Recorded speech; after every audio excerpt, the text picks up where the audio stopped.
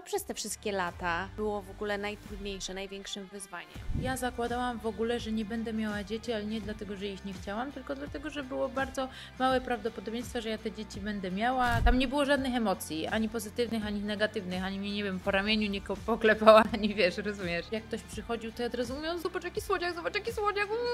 Ja byłam wygodna. Ja myślałam, że ja tą wygodę stracę. One wyciągnęły ze mnie wszystko to, Lekarze trochę mają taką lekką znieczulicę. gdyby w szpitalu dawali taką broszurkę zamiast tak jak nam dali, to to jest po prostu hit.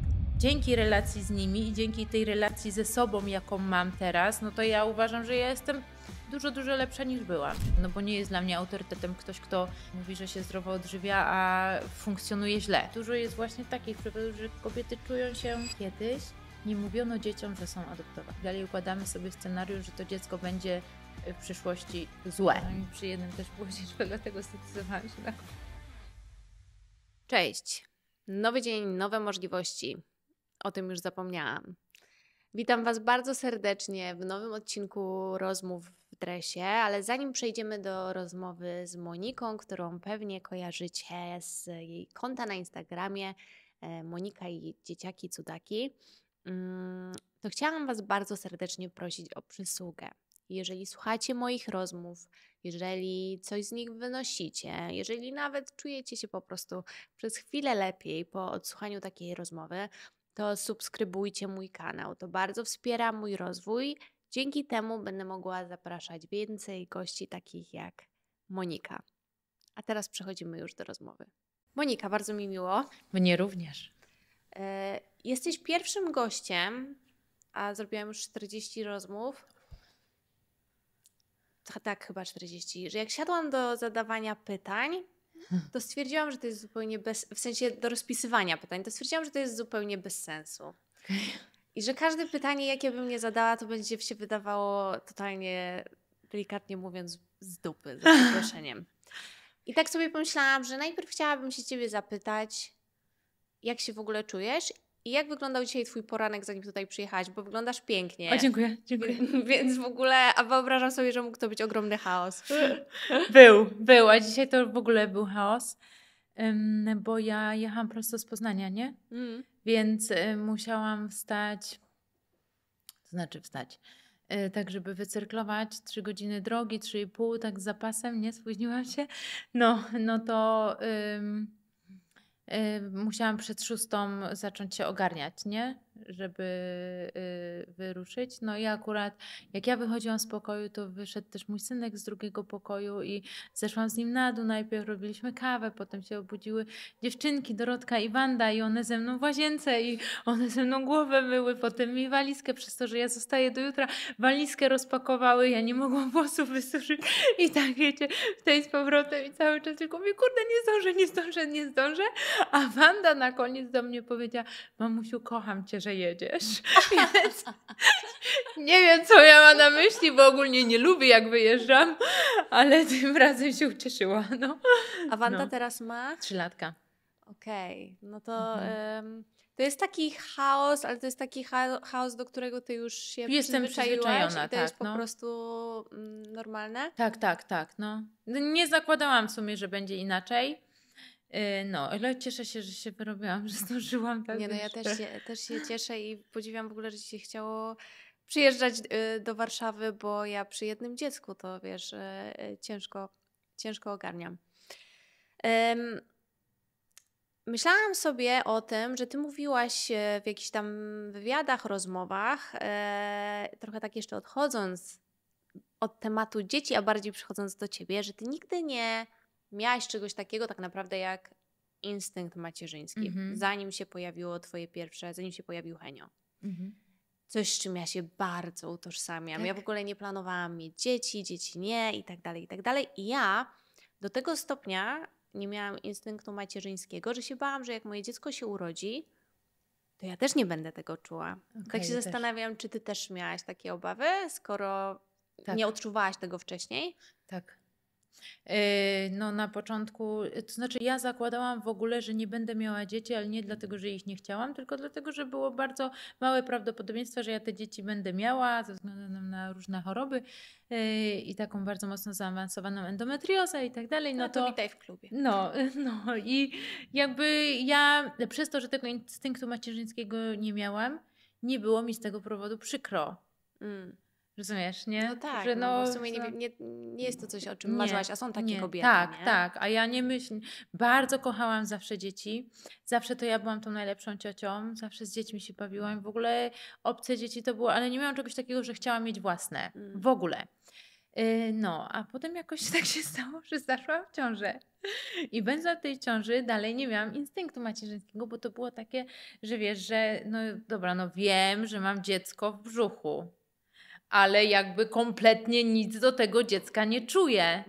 I bałam się, i że wiesz, jeszcze e, z tą świadomością, że wcześniej moje siostry miały dzieci i jedna to w ogóle słuchawki kładła na brzuchu i puszczała piosenki i śpiewała i kochała i w ogóle była taka, że, że no mamusia, a ja czegoś takiego nie miałam i czasem sobie sama mówiłam, Monika, tam jest dziecko, Monika, tam jest dziecko, nie?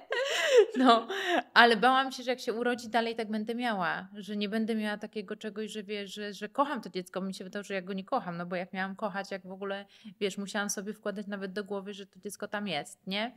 No, ale w momencie porodu pykło. O Jezu, bardzo. Pytam, bo to jest taka, wiesz, niepopularna opinia, nie? W sensie, że kobiety, mam wrażenie, że to jest jakiś taki może aspekt e, trochę wstydu, że się tak nie przyznają do tego, nie? Że w ciąży nie są takie zakochane w tym dziecku, bo mm, no bo jednak słyszy się tylko o tych takich historiach, tak, że wiesz, o Jezu, pierwsze kopnięcie, tak, no. wiesz, tam jakieś e, fajerwerki i tak dalej, i tak dalej. I trochę się boimy przyznawać do tego, jak tego nie czujemy, nie? Do tego... Ja miałam koleżankę, mam koleżankę, która e, nie czuła tego e, przez kilka miesięcy jeszcze po porodzie swojego mm. dziecka. No. I ona mówi, że to był proces i że dopiero, e, nie wiem, mm, po pół roku, no około pół roku to trwało i wtedy dopiero się tak naprawdę zakochała i poczuła, że jest mamą i że no zrobił już dla tego dziecka wszystko, ale to też był proces, nie?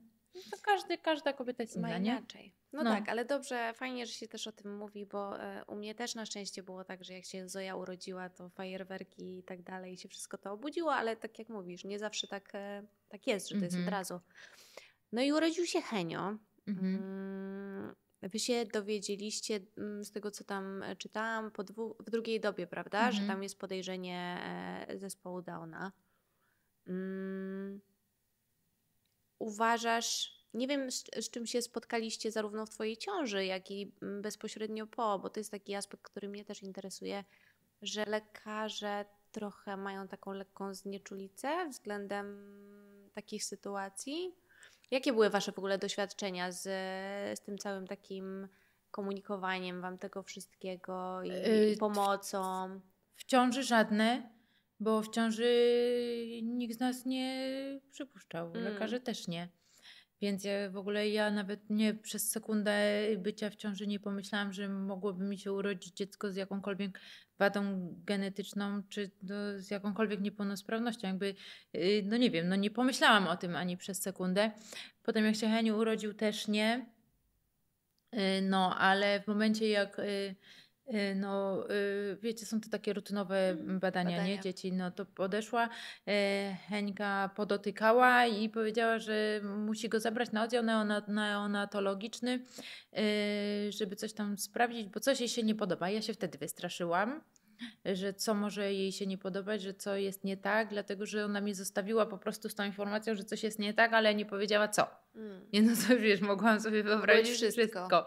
A im dłużej to trwało, tym bardziej to napięcie we mnie narastało, że ja się bałam, że ym, on jest po prostu na coś chory, mm. nie? No i ym,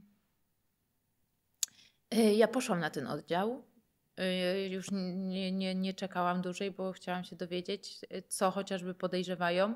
Y, a tam panował trochę taki chaos, że nie wiem, czy tam jakieś dzieci przywieziono, czy w ogóle były badania. Pani doktor wyszła wtedy na korytarz i ja się zapytałam, co jest z Henkiem, żeby mi powiedziała. No ona powiedziała, że Heniu najprawdopodobniej ma trisomię I mm, ja nie wiedziałam, co to jest. Mhm. Więc ja zapytałam, ok, ale co to jest? A ona wtedy ściszonym głosem powiedziała, że zespół Downa. I że teraz nie ma czasu, bo musi wracać na oddział. No i że no tyle. No i ona mnie z tą informacją zostawiła. zostawiła. No. I y, tak to było. No i to było takie, ona nie powiedziała tego w żaden sposób taki, mm, nie wiem, zlewając mnie, albo w taki sposób, że.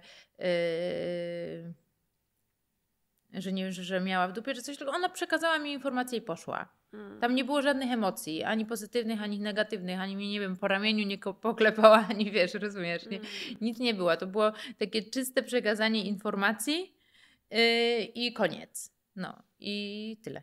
No tak, i z jednej strony rozumiem, bo pewnie to są mhm. takie sytuacje, które im się mimo wszystko przytrafiają dość często i jakby mieli reagować na każdą, no to byłoby im pewnie ciężko wykonywać swój zawód, a z drugiej strony, mm, no jednak jako matka, jak zostajesz z taką informacją, ja wiem, że jak w ciąży słyszałam jakiekolwiek rzeczy, które były delikatnie odbiegające od normy, mm -hmm. o, od normy e, u mnie w ciąży, to od razu było, wiesz, takie zapowietrzenie, a, a lekarze mam wrażenie, że tak po prostu czasami mają wrażenie, jakby rozmawiali ze swoimi kolegami e, z, z branży, fachu, nie? No, tak.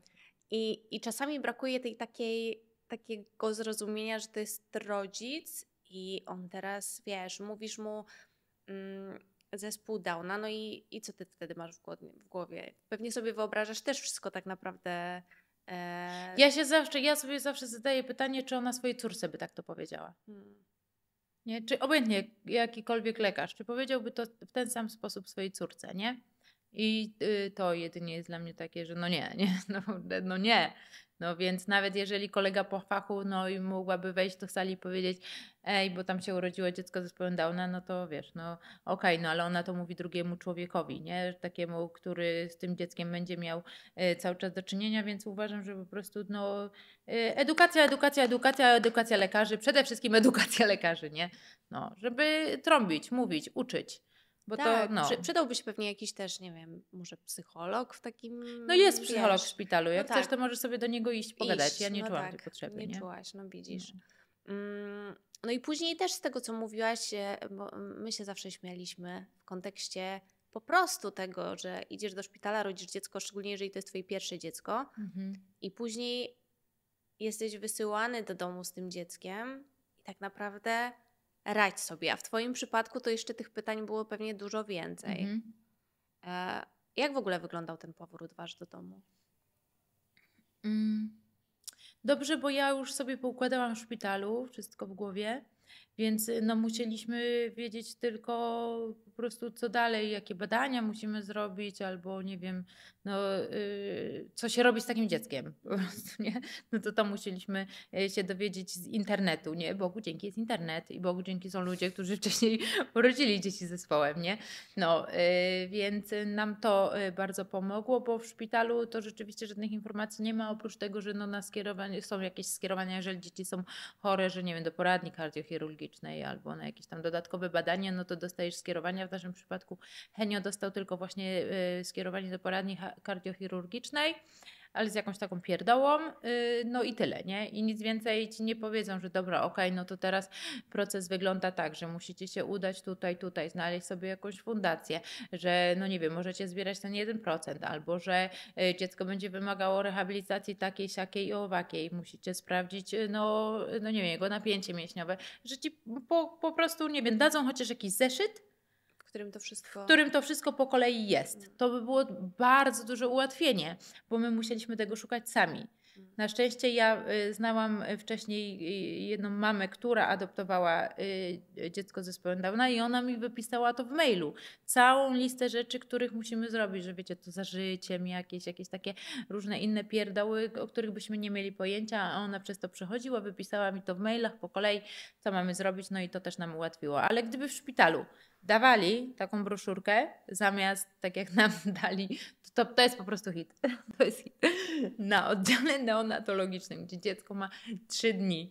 Jak my wychodziliście, dali nam tylko taką ulotkę, że w Poznaniu e, no, z jakiegoś przedszkola integracyjnego, do którego ewentualnie mogło wyjść dziecko, ale wiecie, takich przedszkoli jest mnóstwo, nie? No tak, a poza tym Nie. przedszkole to jest dziecko Tak, tak, 3 lata, Tak, nie? no. Więc to była jedyna informacja, jaką dostaliśmy yy, w szpitalu, nie?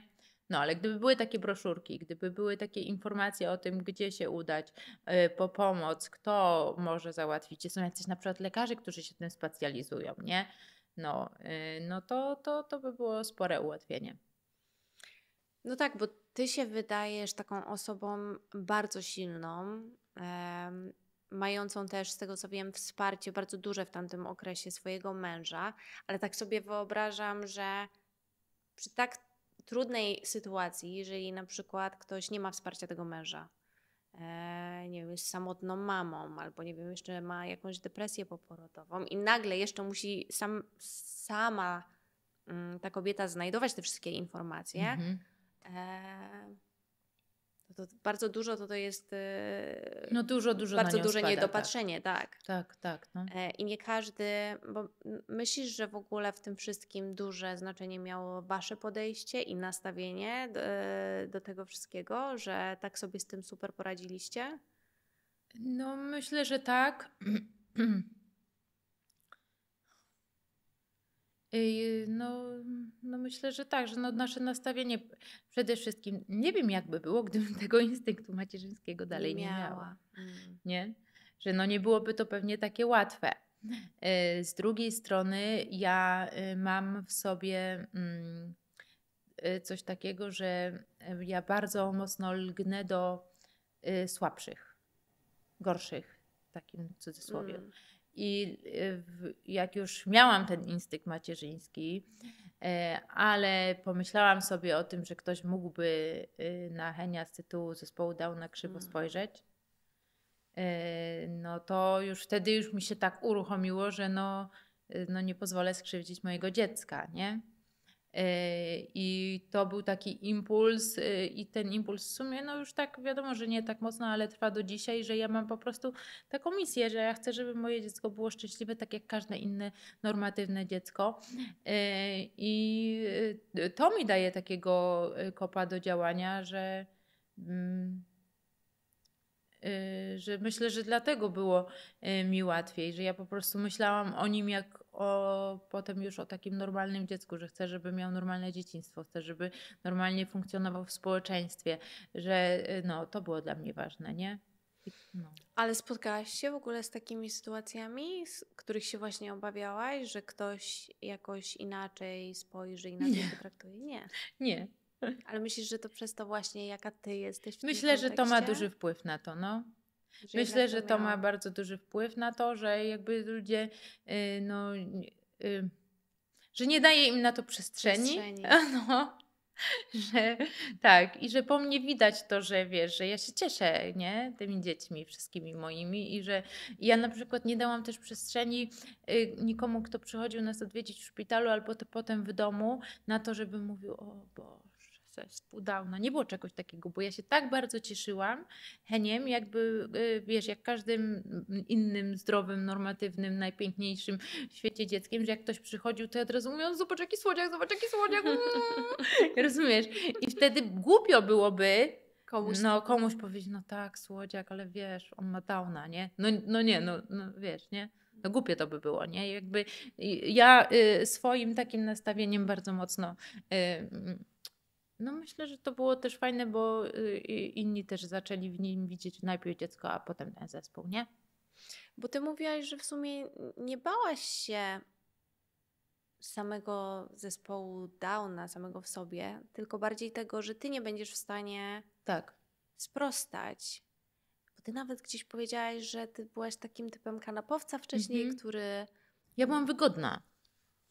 I ja Nie- myślałam, że ja tą wygodę stracę. Ale i. Bo się zastanawiam, wiesz, jestem.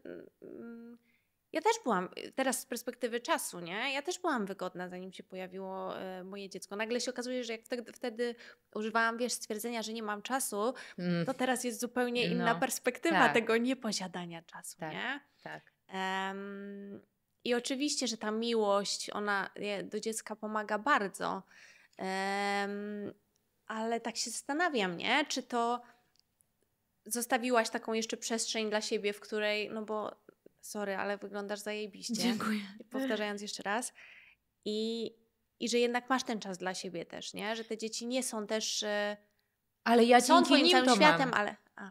Ja mam to dzięki nim, bo, to, bo one mnie tego nauczyły. Mm. Że one wyciągnęły ze mnie wszystko to, co ja mam lepsze, a nawet tego nie wiedziałam, że to mam że ja y, dzięki nim bardzo dużo się nauczyłam, dzięki Heniowi, Dorce i tak dalej, że to było takie, że wiesz, ja myślałam, że jestem leniwa, bo byłam leniwa, bo ja sobie na to lenistwo mogłam pozwolić. Ja byłam wygodna, bo też sobie mogłam na to pozwolić, nie?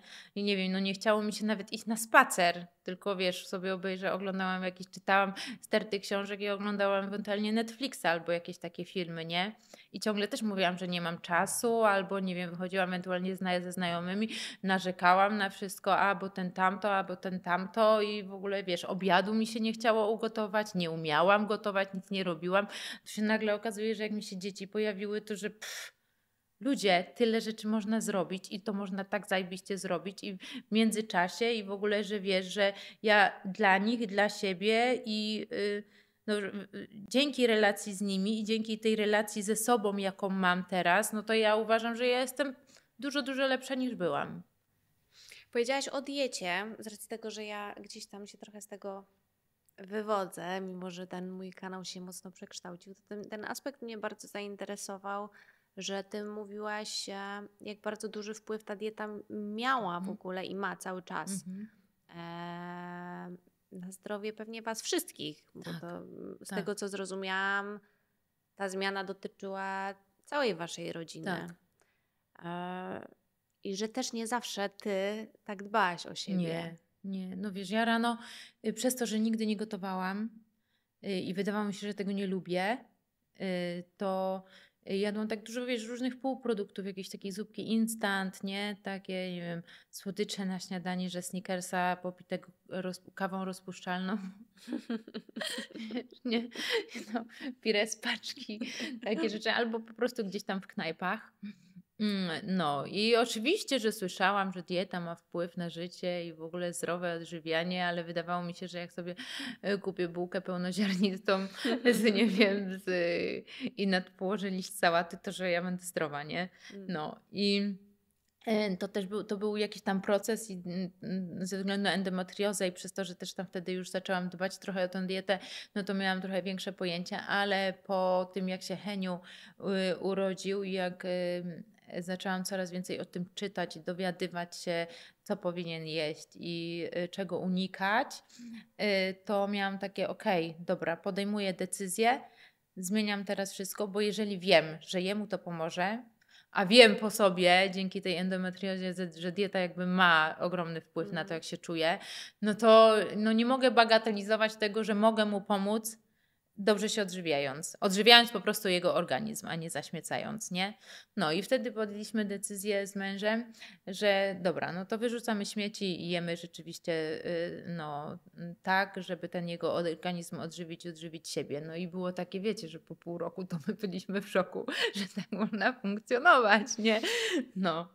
Ale skąd wyczerpaliście te e, Od lekarzy. Od lekarzy, okej. Okay. Czyli mhm. znaleźliście mhm. gdzieś tam potem w ramach, e, nie wiem... Tak, tak tak, my mieliśmy to szczęście, że im więcej ja szperałam i dowiedziałam się, byliśmy na przykład, nie wiem, u rehabilitantki, jakiej znaleźliśmy jakąś super rehabilitantkę y, i ona nam mówi, że wiecie co, bo w Poznaniu jest taki super lekarz y, i ma no, duże doświadczenie z dziećmi z zespołem Downa, idźcie do niego. No to my od razu do tego lekarza, z tego lekarza do kolejnego lekarza. I tak wiesz, my mieliśmy taką grupkę, potem zaczęliśmy się wszyscy ze sobą, no nie że przyjaźnić, ale mieć taki większy kontakt i wymieniać się informacjami, jeździć razem na jakieś tam konferencje, organizować wspólnie coś. I także no, zaczęliśmy wspólnie dowiadywać się mm, więcej, co mogłoby naszym dzieciom, bo jedna z tych lekarzy, pani doktor, też miała dziecko zespołowe, no, y, pomóc. I to było fajne, że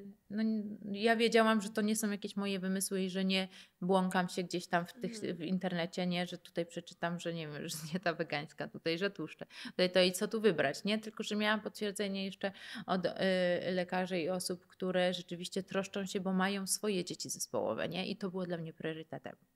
No tak, bo właśnie chciałam e, powiedzieć, nie, że jak zaczniesz czytać te wszystkie informacje w internecie, to możesz dużo znaleźć, ale możesz też być bardzo przytłoczony Tak. ilością rzeczy, Tak. które w tym internecie z- znajdujesz Tak. i nie wiedzieć do końca, co tak naprawdę jest Tak. e, najlepszym I, wyborem. Dokładnie. A u, w moim przypadku było to, że po pierwsze, że mają dzieci zespołowe, po drugie to, że oni y, sami mm, mają niespożytą energię.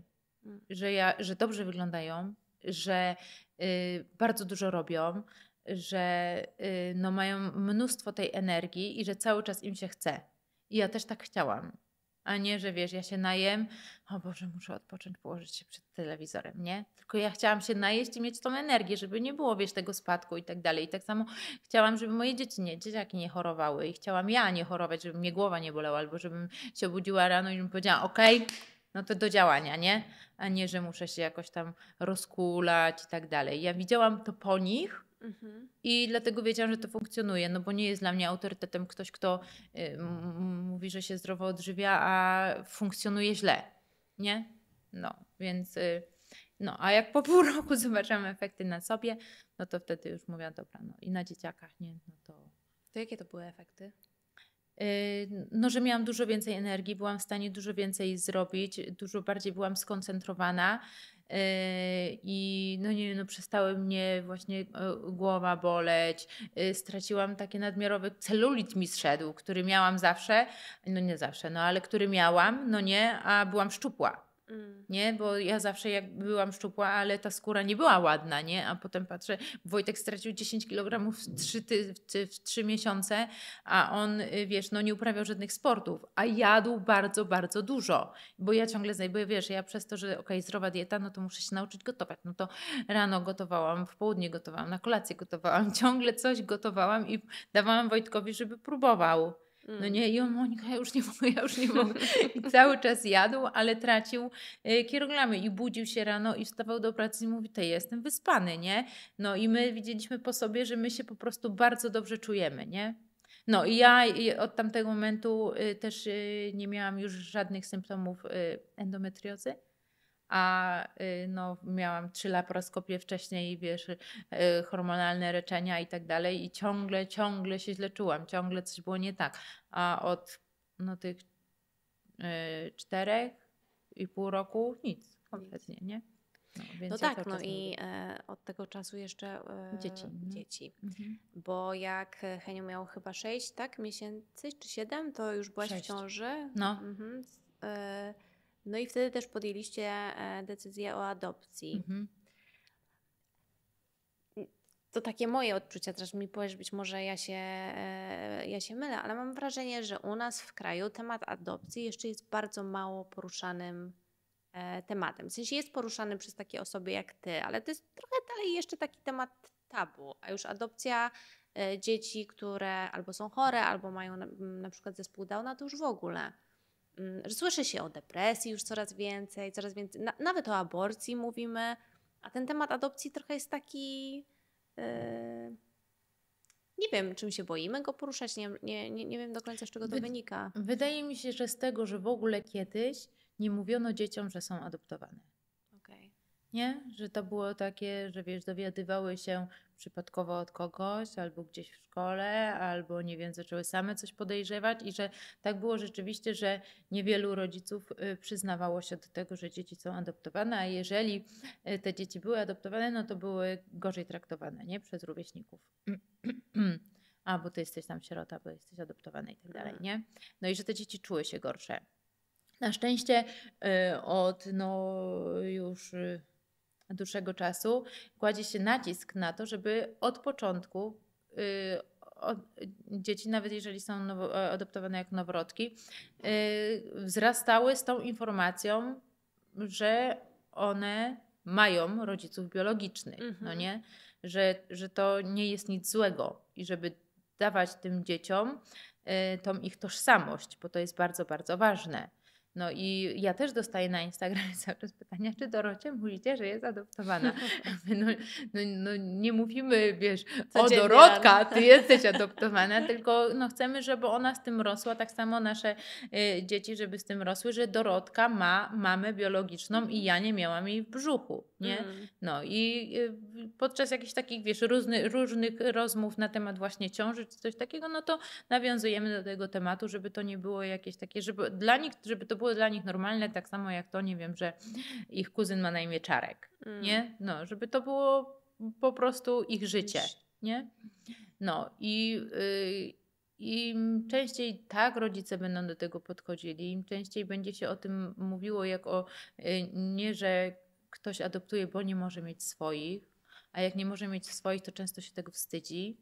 No nie, no niestety jeszcze tak jest że czuje się kobieta jakaś gorsza, wybrakowana czy coś, no i wtedy decyduje się na tą adopcję, co to też, też są jakby złe pobudki, no nie, mm. no, ale ym, więc wiele jest czynników y, składających, się, składających się na to, że o tej adopcji się tak jeszcze otwarcie nie mówi, a powinno się mówić, no bo w ogóle nie powinno moim zdaniem być różnicy między y, dzieckiem biologicznym swoim, a dzieckiem adoptowanym, nie? Ja uważam, że, że, że, że nie powinno być, bo y, są osoby, które mówią, że nie, potrafią, nie potrafiłyby pokochać takiego dziecka, no nie? A ja zawsze zadaję pytanie, no dobrze, a co by było, gdyby po porodzie ktoś przez przypadek podmienił ci dziecko i nie miałby swoich genów? No tak, nawet byś nie wiedziała. Nawet byś nie wiedziała, ale kochałabyś, nie? Więc tak naprawdę to jest tylko i wyłącznie w głowie, nie? Że to jest tylko ta świadomość, że to jest dziecko kogoś innego i sobie tworzymy jakieś scenariusze, że to dziecko jest, nie wiem, no właśnie z rodziny dysfunkcyjnej, że nie wiem, mama to robiła czy tamto i tak dalej. Układamy sobie scenariusz, że to dziecko będzie w przyszłości złe, mm. bo ma złe geny, no nie? No, ale to, to, to, to też od tego się odchodzi, nie? Że to jest nieprawda. No. Tak, gdzieś nawet chyba napisałeś, że nic cię tak nie denerwuje, jak e, właśnie mówienie, że genów się nie oszuka, jak mm -hmm. gdzieś tam mhm. to dziecko, nie wiem, nie sprosta naszym, tak, tak naszemu tak, no. wyobrażeniu, nie? Aczkolwiek w ogóle jakby jakiekolwiek wyobrażenie na temat tego, jakie twoje dziecko będzie, jak tak, będzie starsze, tak. jest e, no... Myślę, no. że nigdy ono, myślę, że zawsze to wyobrażenie będzie inne od tak, rzeczywistości. Tak, tak. A było coś w tym całym procesie adopcji, już jakby mm, procesie adopcji, czy zaraz po, co ciebie jakby e, zaskoczyło, co było trudne, co. E, bo wiesz, jak oglądamy filmy i tam jest e, dziecko jest adoptowane, to to jednak wszystko jest takie, wiesz, taki trochę taki fairy tale mimo wszystko, nie? Że są rodzice, oni znajdują to idealne, idealne dziecko, to dziecko się pojawia w domu. Mm, myślę, że niekoniecznie zawsze to tak musi wyglądać. Może tak było w Waszym przypadku, ale też e, czytałam o tych szkoleniach, które muszą przechodzić -hmm. na przykład rodzice, zanim się mm, w ogóle zdecydują na adopcję. No bo to często będą dzieci jednak z rodzin. Tak, w 99% przypadków są to dzieci z rodzin dysfunkcyjnych i rodzice, którzy decydują się na przysposobienie dziecka, właśnie mają te kursy. Uważam, że te kursy to jest coś y, genialnego. Wiem, że dużo jest hejtu na to, że to takie niepotrzebne, że się tam, nie wiem, no, powinno to ukrócić i tak dalej, nie? No bo skoro ktoś chce adoptować, no to powinno się mu dać. Ja jestem tego przeciwnikiem, uważam, że powinno być e, no, bardzo dobre przygotowanie do tego i takie, no, że powinno być to solidnie zrobione. Już taki kurs, który jest, że 10 spotkań, no to ja bym przeciągnęła na więcej. Mhm. E, I sama bardzo, bardzo, bardzo chętnie bym wzięła jeszcze raz w takim udział. Że w ogóle powinno być więcej kursów dla y, rodzin, nie tylko chcących przysposobić dziecko, ale w ogóle chcących posiadać dziecko, swoje nawet biologiczne. Tak, ja, jest, ja uważam, że, powinni, że tak jak są kursy przedmałżeńskie, powinny być kursy przedrodzicielskie. Tak, no o Jezu, to by bardzo, bardzo y, no, y, ułatwiło życie wielu dzieciom i rodzicom. No i te kursy uważam, że są cholernie ważne i przede wszystkim y, wiele rodzin, rodziców, którzy, przyszłych rodziców idących na te kursy rezygnuje w trakcie. Hmm. Nie, bo dowiaduje się, że to nie będzie tak kolorowo, że wezmą sobie dziewczynkę, wsadzą ją do różowego pokoju i ona będzie im wdzięczna, że ją wzięli, nie? Że będzie na odwrót, nie? wezmą dziewczynkę do różowego pokoju, ona powie, że chce czarny i będzie dla nich y, przez jakiś czas no, trudna, nie? No. To naprawdę ludzie mają takie wyobrażenie? Mają, mają, no. Mają, bo wielu rodziców jest takich, wiesz, już zdesperowanych tym, że bardzo by chcieli mieć dziecko, więc przez ileś tam lat starają się o to dziecko, to jest normalne, nie mogą mieć tego dziecka i wtedy rośnie jeszcze taka większa presja tego, że właśnie jest niewystarczająca czy coś, a bardzo, bardzo chce i no, tworzy sobie wyobrażenia na temat tego rodzicielstwa, na temat tego, tego dziecka. A dziecko z rodziny dysfunkcyjnej ma y, dużo więcej no, niezaspokojonych potrzeb, no nie? Więc to y, dziecko w, no, w zdecydowanej większości przypadków jest trudnym dzieckiem, które potrzebuje bardzo dużo uwagi, miłości, czułości, yy, zauważenia, akceptacji, no nie? I to jest długi proces, zanim y, to dziecko dojdzie w ogóle do siebie, nie? Mhm. A jak ty w tym wszystkim zachowałaś jakiś taki balans, żeby nie mieć, chyba że miałaś, um, takie poczucie winy, że e, Henio i Dorka mają na przykład więcej Twojej uwagi? No bo chcąc, nie chcąc, pewnie w jakimś stopniu muszą mieć, nie? nie? Nie? To tak nie działa. Nie? Nie. nie. No, no, nie, nie działa. Ale to niesamowite, to... to fajnie, że o tym mówisz, że to, że to, bo ja tak, wiesz, się zastanawiałam, czy na przykład wiesz, y, nie jest Nie, tak, no że, to tak że... samo można by było powiedzieć, że ktoś ma dzieci normatywne, nie ma hmm. dzieci z zespołem Downa, ale ma trójkę dzieci. Każde dziecko jest inne. Jest Oczywiście. na przykład y, tak zwany, nie wiem, high need baby, nie? Hmm. Że no, jest dziecko jakoś tam wysoko wrażliwe i to dziecko wymaga więcej uwagi. No ale to nie znaczy, że ty temu dziecku rzeczywiście y, kosztem drugiego dziecka tę uwagę poświęcasz. No nie? Bo zwracasz po prostu uwagę na inne rzeczy. Heniu i Dorotka oprócz tego, że mają więcej zajęć, bo mają zajęcia rehabilitacyjne, to na przykład były czasy, że wymagali dużo, dużo mniej uwagi niż Wanda, która miała taki bunt, że ja pierdolę, nie? No. Więc, bunt dwulatka? No, no, albo Boguś, który był taką, on miał u nas w domu przedwisko buła, bo był taką jęczy bułą, że po prostu ze wszystkiego, absolutnie ze wszystkiego był niezadowolony i non-stop musiał być na rękach. Więc to yy, wydaje się, że dobra, dzieci zespołu Downa potrzebują więcej uwagi. Tak naprawdę Boguś potrzebował tej uwagi dużo, dużo więcej, nie? Mm. Więc no to wszystko jest zależne od dziecka, nie? Wszystko jest zależne od dziecka. I wszystkie są pewnie inne, co? Każde jest inne, no. Każde. Gdzie w tym wszystkim i kiedy pojawił się Instagram? Bo ja pewnie nie było, pewnie, pewnie nie wyobrażałaś sobie, że to będzie nie. wyglądało tak, jak wygląda dzisiaj, nie? Mhm. A czy to było. Mm, właśnie, jakie były pobudki tego, że w ogóle zaczęłaś? Czy to była taka twoja odskocznia? Bo różnie ludzie mm, traktują, nie wiem, nie wiem social media i, i, i tego typu miejsca. Odskocznia nie, bo ja nie wiedziałam, że to będzie coś z tego, nie? Mhm. Więc y, ja rozmawiałam tylko z moją siostrą odnośnie tego, po, po, po, pierwsze, to ja po prostu uważałam, że moje dzieci są przepiękne. Nie? Wiadomo, jak każda mama, nie? Używa, że uważa, że ma najpiękniejsze dzieci na świecie. A ja miałam jeszcze to, że miałam dwójkę pierwszych zespołowych, więc wiadomo, że się wyróżniają, ale były przepiękne, nie? No ja chciałam pokazać światu. Tak, jakie mam piękne dzieci. Yy, I chciałam rzucać tylko zdjęcia mm, dzieciaków na Instagram, nie? A miałam Henia i Dorotkę, a z Bogusiem byłam w ciąży. Yy, no i y, tak to wyszło, że jakoś po tygodniu już ten Instagram zaczął tak płynąć i tak rosnąć i tam no, y, y, takie zasięgi robić, że to wszystko działo się, wiesz, pach, pach, pach, pach, pach, pach, pach, pach. Ja nawet nie wiedziałam kiedy, nie? No i to tak się potoczyło. A zaczęło się od tego, że po prostu, a wrzucę zdjęcia, napiszę dzieciaki cudaki, wrzucę zdjęcia dzieci do internetu. Może y, kiedyś ktoś zobaczy i powie, o jakie słodkie, nie? No, bo ja też gdzieś kiedyś na Instagramie, jeszcze na swoim takim starym, wiesz, prywatnym profilu do oglądania, y, no nie wiem, pierdół, nie? Widziałam jakąś dziewczynkę y, małą z zespołem Downa mm, i była tak ślicznie ubrana i powiedziała, ale sweet, nie? I wiesz, no. I potem mówiłam sobie, że może kiedyś ktoś tak powie na moje dzieci, nie? Żeby po, pokazywać po prostu, że są. Ale nie z myślą o tym, że to będzie konto instagramowe, zasięgowe, nie? Wrzuciłaś takie zdjęcie, widziałam jeszcze zostając przez, przez chwilę przy Heniu i, i Dorce, jak siedzą wspólnie i, i pewnie przeinaczę e, podpis, ale chodziło o to, że fajnie, że mają siebie. Mhm. Uważasz, że to im ułatwiło bardzo? e, Tak.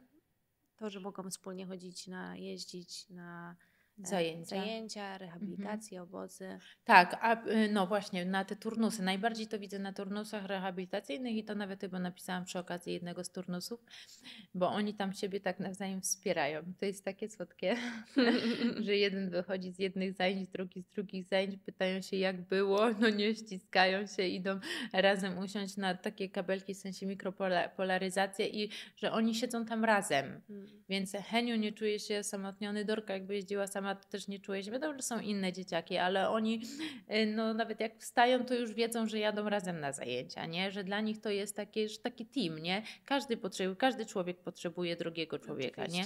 A oni jakby mają dużo takich zajęć dodatkowych, że wiesz, że Heniu mógłby powiedzieć, ja, ja nie chcę, bo nie wiem, bo, bo wiesz, bo czemu ja muszę jechać, a Wanda i Boguś nie muszą. No ale ma Dorotę, nie? Mm. No i to, i to jest fajne, że dlatego oni dobrze mają siebie razem.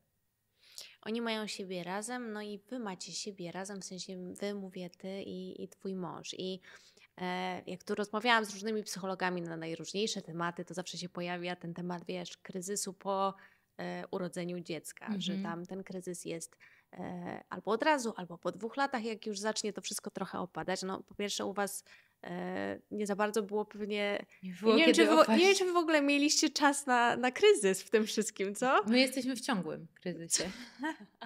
Ja cały czas mówię, że my jesteśmy w ciągłym kryzysie i ja kiedyś właśnie czytałam, czy słyszałam nawet w jakimś podcaście, że, te, że taki właśnie kryzys po, po dziecku mija, jak dziecko ma 3 lata. Okej. Że trzeba przetrwać ten okres tych trzech lat, nie? No to my jeszcze z tego nie wyszliśmy, No bo nie. nasz młodszy ma dopiero rok. Więc my cały czas jesteśmy w ciągłym kryzysie.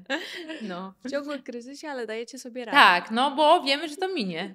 Rozumiesz, wspólny cel. tak, mamy wspólny cel i jak wiemy, że dobra, jeszcze dwa lata, pf, no, to tak Może działa. najmłodszy ma rok, Mhm. czyli e, nawet jest młodszy od mojej Zoi.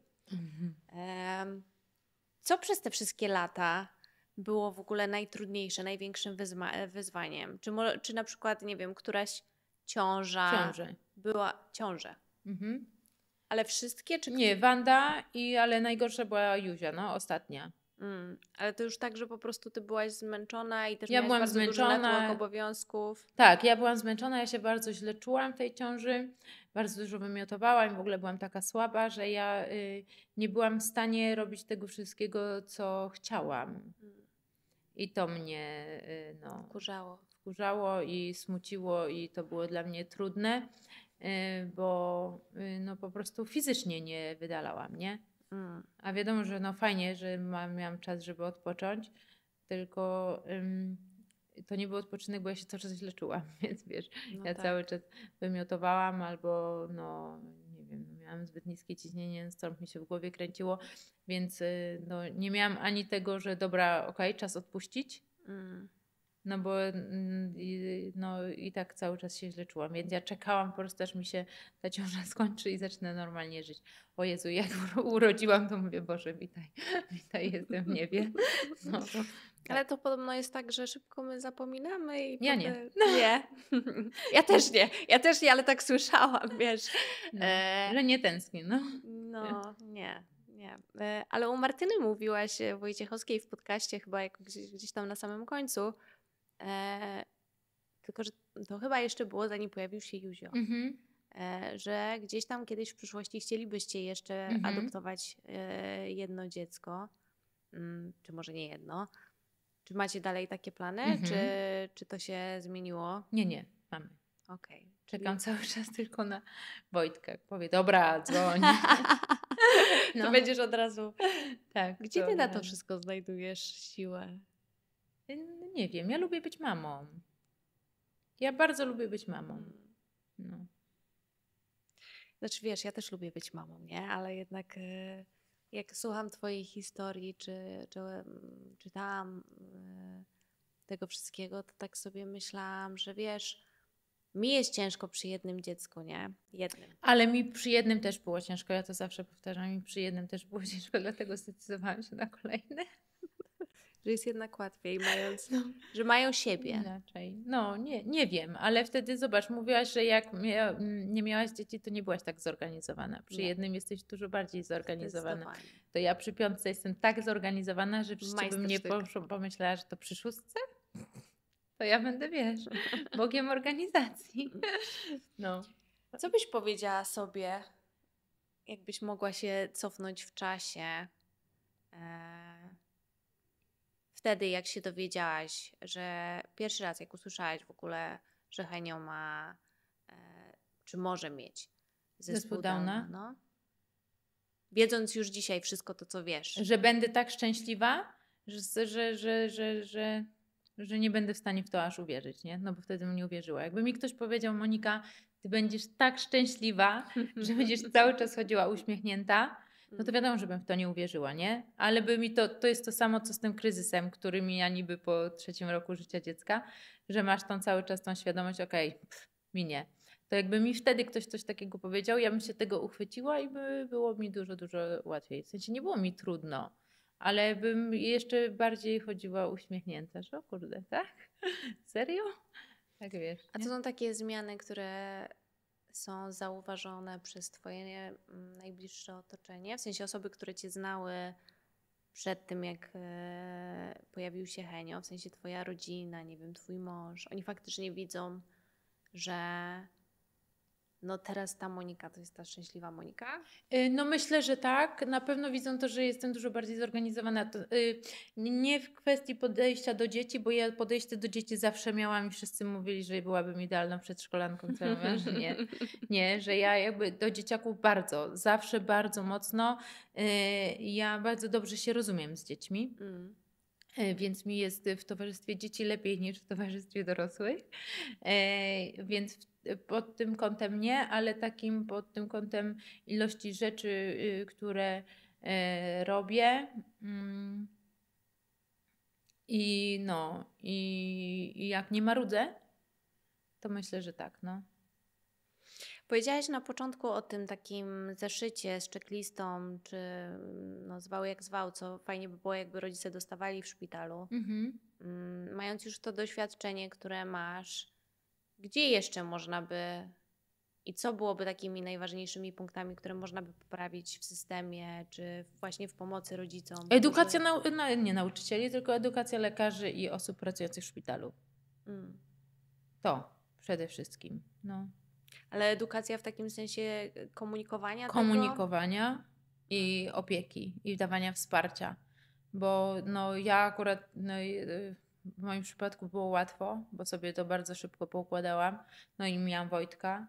Yy, no i w ogóle jestem dosyć yy, silnie zbudowaną yy, osobą, ale są no, osoby, dla których to jest bardzo trudne. A w zdecydowanej większości jest to trudne, dlatego że czują się samotne, że tego mu nie podołają, nie? No to no. Bo ty musisz dostawać bardzo dużo, co? Wiadomości pewnie i na Instagramie, i nie tylko, z różnymi historiami. Tak, ale główny, ale w większości tych przypadków, w których no teraz na przykład, że, że, że, że się e, rodzice dowiadują o tym, że dziecko będzie zespołowe albo będzie miało inną wadę genetyczną, albo będzie po prostu chore, to jest tylko, że y, ja sobie nie poradzę. Hmm. No. Czyli A i pytanie jest, jest skąd y, no to przeświadczenie, że sobie nie poradzisz, nie? E, widziałam ostatnio też, no, wracając jeszcze na chwilę do Twojego Instagrama, mm, taki komentarz, za który potem Cię Pani przepraszała, zresztą chyba w wiadomości a propos mm, zarabiania chyba na dzieciach, tak? że się wybiłam tylko Że się kupiłaś na dzieciach, tak. Czy Ciebie w ogóle mm, takie komentarze jakkolwiek dotykają e, na Instagramie? Czy Ty się w ogóle tym przejmujesz? Czy to jest na takiej Teraz zasadzie... nie. Kiedyś tak, bo ja kiedyś bardzo dużo dawałam e, e, w siebie, siebie te, w tym Instagramie, że bardzo się starałam, bardzo chciałam, żeby wszyscy widzieli to, co ja widzę, że no, bo to wiesz, ludzie, którzy nie prowadzą Instagrama, no nie wiedzą, ile to kosztuje tak naprawdę czasu, nie? Mhm. Energii i tak dalej. No mimo tego, że mimo, że ja to robię wszystko w międzyczasie, tu nagram, wrzucę i tak dalej, nic nie mamy poukładane do przodu, y, no to i tak, no to y, to jest praca, nie? To jest no, twój włożony czas w to. I dla mnie było trudne to, że ja wkładam w to czas po to, żeby pokazać coś ludziom, żeby i wiesz, widzę zupełnie coś innego, a dostaję jakąś wiadomość zwrotną, że a wybijasz się na dzieciach. A ja chciałam właśnie pokazać coś odwrotnego, że patrzcie, jak można yy, no, pokazać swoje dzieci. No Mhm. nie? Że ja robię to dla nich, a ktoś mówi, że ja zrobiłam to dla siebie, że zupełnie wiesz, odwrócił coś, co w ogóle bym nie wpadła, że jest ktoś w stanie coś takiego odwrócić, nie? No i tak samo było w przypadku tej yy, dziewczyny, która właśnie napisała, że się, że już robię wszystko, żeby się wybić na chorych dzieciach. No kurde, jakby zupełnie odwrotnie, nie? Że właśnie robię wszystko, żeby yy, pokazać dzieci, żeby je wybić, żeby wiesz, nie? Mm. Ty sporo już mówiłaś e, na temat e, tej całej swojej historii i mm, ja też gdzieś tam przesłuchałam jakieś podcasty z tobą. A czy jest jakieś takie pytanie na tej całej drodze, której nikt ci nigdy nie zadał, a na które chciałabyś móc odpowiedzieć? Nie. Nigdy o tym nie myślałam, albo że coś bym chciała powiedzieć takiego. Nie, no już jest tego tak dużo. nie? Tak dużo, no, że, że nie, że nie wiem.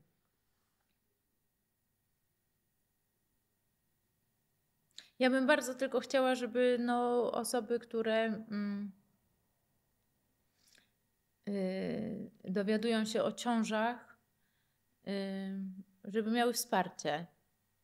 Nie, to, to, to, to bym chciała, żeby nie czuły się źle. Ostatnio napisała do mnie właśnie y, jedna dziewczyna, która y, y, nigdy nie chciała być mamą, Mm. ale dlatego, że tą małą mamą bała się być przez swoje jakieś tam doświadczenie z dzieciństwa, no wiedziała, że nie chce mieć dzieci. Ale po kilkunastu latach małżeństwa doszli z mężem do wniosku, że jednak może warto byłoby spróbować z nadzieją, że to trochę potrwa. A bardzo szybko zaszła w ciążę i się bardzo przestraszyła i zaczęła mieć takie różne y, ataki, że ona sobie nie poradzi, że ona jednak wolałaby nie i że to był głupi pomysł i tak dalej. No i napisała y, do mnie wiadomość, że ona nie wie w ogóle, dlaczego ona do mnie pisze, ale że mam jej tylko coś powiedzieć, czy ona sobie da radę, czy nie, bo ona się boi, że ona sobie nie da rady. No i wiesz, z jednej strony chce, ale przez do, swoje doświadczenia boi się, że sobie nie poradzi jako mama, no nie? I y, dużo jest właśnie takich przypadków, że kobiety czują się, no kobiety, bo no nie chodzi tylko o kobiety, że ludzie są samotni, nie? Że się czują w podejmowaniu decyzji samotni albo y, w życiu samotni, żeby tak no dać im to, to, to takie poczucie, że nie, że tak nie jest, nie? że każdy z nas przeżywa życie, każdy z nas przeżywa to życie w inny sposób, ale że to życie jest jedno i że no, mam, są miliony na świecie, nie? I, I są setki tysięcy mam, które mają podobne obawy. Mm. No i są setki tysięcy mam, które złamały schematy i y, no, albo myślały, że będą złymi mamami, a są dobrymi, że tak naprawdę wszystko jest w głowie, nie? że to jest decyzja. No. Nie, no na pewno, jakby też z tym też się utożsamiam. Gdzieś tam e, ja doszłam do tego z czasem, że u mnie to pewnie też były bardziej obawy niż, e, niż to, że nie chcę e, Mhm. posiadać dziecka. Mm, Czego dzisiaj można życzyć, Monice? Bo wydaje się, że masz wszystko. Żeby Wojtek powiedział, dobra, to zadzwoń. Wojtku, w takim bądź razie. Nie ma, poczuję presję. Głupia jesteś. Nie, nie, nie, nie, nie, nie, tak nie, bo to on musi, to musi być jego y, Decyzja. świadoma, tak, decyzja, no, więc Ale- to był żarcik. Trzymam kciuki. W takim bądź razie ja również trzymam kciuki i bardzo Ci dziękuję za tą rozmowę. Dziękuję, dziękuję.